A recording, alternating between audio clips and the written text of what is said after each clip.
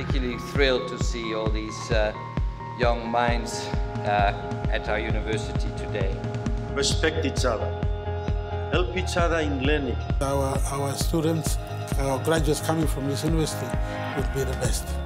It's not about equipping that student with the academic qualification, but also preparing them for the workplace.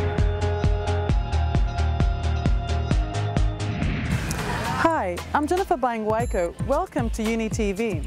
On this episode, we explore the Department of Lands and Surveying and the Department of Architecture and Building at the PNG University of Technology. Come with me as we explore the Department of Lands and Surveying. Hi, I'm with Professor Pal from the Department of Lands and Surveying. Uh, Professor Pal, could you please tell me a little bit about the department and what goes on here? And uh, at present we have, we have got three sections, uh, namely their surveying, geographical information science and property studies. So they are standalone sections and we give separate degrees, undergraduate and postgraduate degrees. And then we have got the PhD program also, PhD in geomatics. Whoever completes MPhil or MSc, they can join for the PhD program. Mm. So now this is uh, quite operational and every year we are getting good batch of uh, students. Hi, I'm here with Mr. Kapi. He's the Deputy Head of Department. Uh, Mr. Kapi, could you please tell me a little bit about this section here and what sort of services it provides for the students? Uh, the thing that uh, this uh, section is uh, more unique because it's the only course uh, that is uh, provided in the country. You won't find surveying being provided in other technical colleges or other universities in the country. Every year, uh, we graduate uh, out at least uh, 30 or less than 30 students going out to the industry. And this is one of the leading profession in Papua New Guinea, especially when we deal with developments, we deal with customer lands, or dealing with uh, constructing new road links, bridges and everything. Hi, I'm here in the GIS section of the department and I'm here with Camilla who's a technical officer. Uh, Camilla, could you please tell me a little bit about this section here?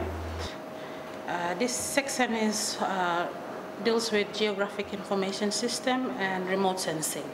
So we have softwares that we use to um, process the data. So we get the data in forms of satellite images, aerial photographs, topographic maps, GPS and LGPS, comparing images to the actual ground data and then coming back to the lab and then we teach them using these uh, computer softwares to process and store data as well as uh, analyzing data.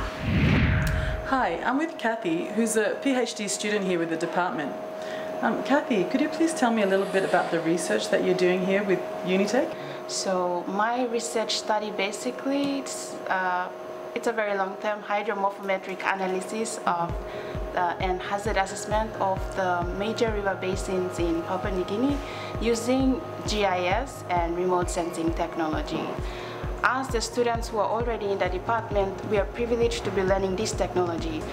We have problems because of the, uh, the remoteness of the area. That's why GIS and remote sensing is a really good technology. Thanks to the department and the courses and the expertise, we can be able now to just sit in our labs have our satellite images and extract information from that.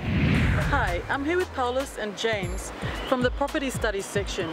Um, Paulus, can you please tell me a little bit about your studies? My research is mostly into uh, rental houses in the informal settlement of Lae and Port Moresby. I, I got a GAP scholarship, graduate assistant program. We received fortnightly allowances. And uh, last year, towards the end, we also got um, funds from the Unitech to support us, traveling down to Port Moresby doing our research. I'm currently doing my uh, MPhil, Master of Philosophy in Property Studies to find housing affordability. Uh, Unitech is 100% uh, supportive. Hi, I'm here with Dr. Sariman.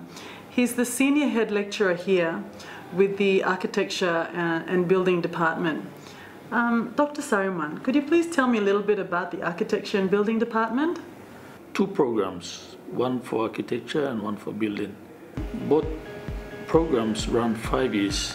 Uh, by the time students get to third year, they do a, uh, they get a diploma if they pass, and when they do well, they proceed into the into the degree program. So at the end of five years, they get a bachelor of architecture for the architects and bachelor of building for the for the building program. Uh, so, Dr. Sariman, could you please tell me how some of the facilities or equipment are used here to uh, help develop the students? We have a workshop and we have a resource center. Uh, so the workshop is mainly used for uh, building practical construction solutions uh, for students to uh, get a, a, better understanding of the practical aspects of uh, architecture and building. Uh, Dr. Sariman, could you please share with me uh, what careers students go into after graduating with Unitech? Uh, there are two, two professions, there's architecture and there's building. So the, the architecture profession has architectural offices uh, and there are some government departments that uh, uh, hire architects. For the builders, when they graduate, they can go and work in a building firm and because they're graduates, they'll, uh, they'll, normally they work for a, a, number of years, gain experience, and uh, depending how they they do, um, uh, others can go and start their own firms, building firms. As you have seen, the Department of Lands and Surveying is a leading innovator in surveying technology. And the Department of Architecture and Building is developing competitive graduates for the workforce. Until next time. Goodbye and God bless.